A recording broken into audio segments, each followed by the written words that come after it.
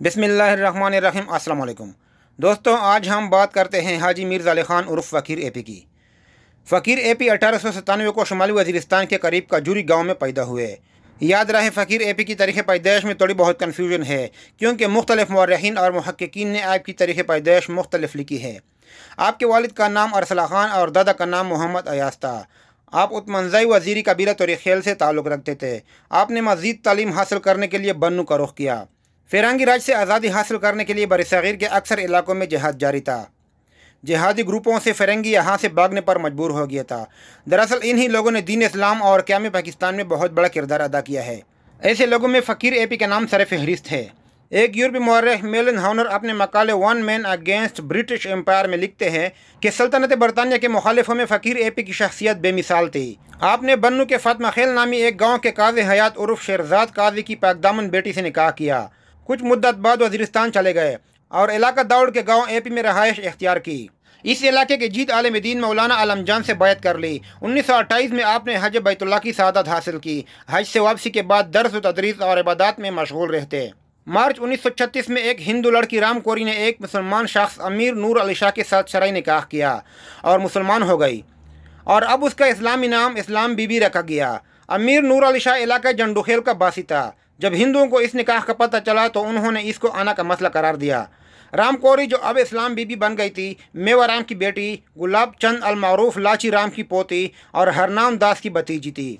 राम कौरी की माँ का नाम मनसा देवी था। राम कौरी के इस्लाम कबूल करने से सारे हिंदू मुतहद हो गए। बन्नू के लोगों ने जलसों जुलूसों का रास्ता अपनाया, लेकिन अंग्रेज़ पसे पर्दा मुकम्मल तौर पर हिंदुओं के साथ थे। इसलिए मामला वैसे का वैसा था। बाद में मामला अदालत तक जा पहुँचा, क्योंकि इसके बगैर कोई चारा भी तो नहीं था। अंग्रेज़ तो पहले से हिंदू बनिए के तरफदार थे लिहाजा इस्लाम बीबी को मुख्तलिफ़ हिलों बहानों से हिंदुओं के हवाले किया गया, जिसके बाद बगावत शुरू हो गई। इस खबर की इतला जब फ़कीर ए पी को पहुँची तो उसने सबसे पहले जंडुखेल के गाँव में उस मकाम पर एक खुफिया अजलास बुलाया, जहाँ पर आजकल आदमी रसुल खान और आदमी अयूब खान का छोटा सा तांगे का अड्डा है। इस इजलास में बन्नू के कई कबीलों के लोगों ने खुफिया शिरकत की और मशवरा करने के बाद इसी जगह से बाकायदा फ़कीर ए पी ने तहरीक जहाद का आगाज़ किया।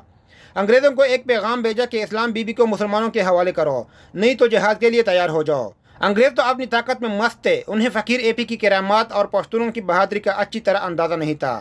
अंग्रेज़ ने जवाब भिजवाया कि आप एक फ़कीर आदमी है, जो करना है करो।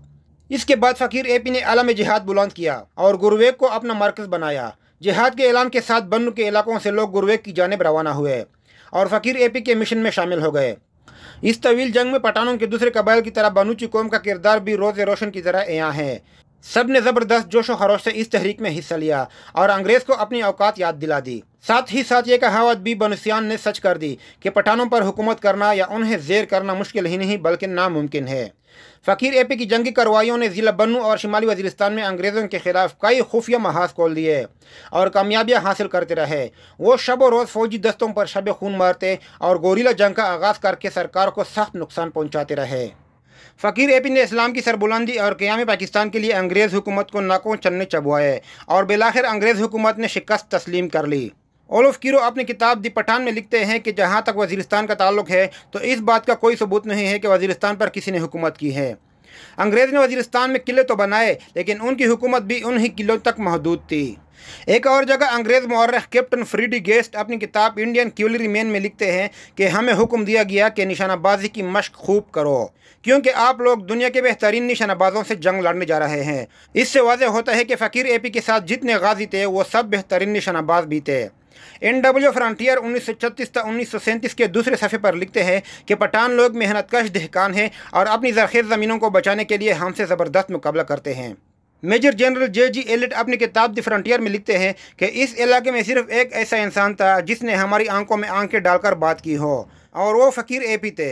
जनरल होल्डर वर्थ अपनी किताब द पठान बार्डर लैंड में कुछ इस तरह गोया है कि उन्नीस सौ सैंतीस को हुकूमत ने फ़कीर ए पी की गिरफ्तारी के लिए तीन हज़ार ज़मीनी फ़ौज भेजी लेकिन नाकाम रही।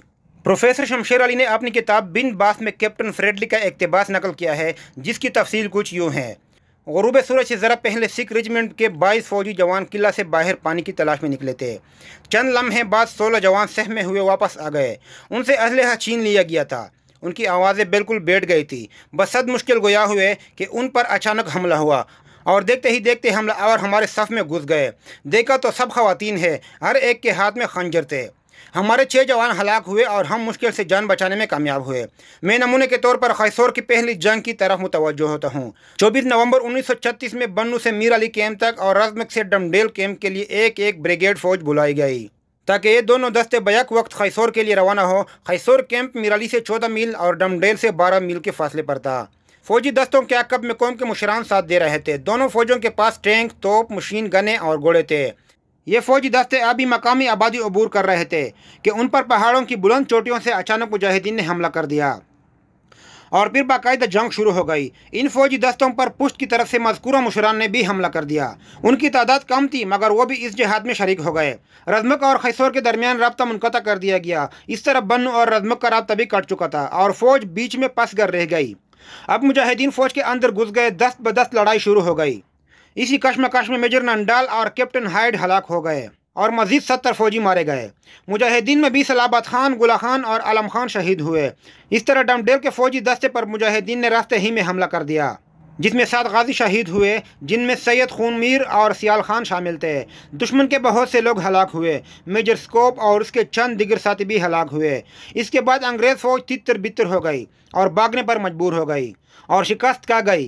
फ़कीर ए पी को बन्नू के लोग अब भी बहुत इज़्ज़त और एहतराम से याद करते हैं। बिल आखिर ये मर्द मुजाहिद और इस्लाम का शिदाई हाजी मिर्ज़ा अली ख़ान उर्फ़ फ़कीर ए पी किया में पाकिस्तान के बाद सदर अयूब खान के दौरे हुकूमत में अप्रैल उन्नीस सौ साठ में वफ़ात हो गए और गुरुएक में दफन हो गए।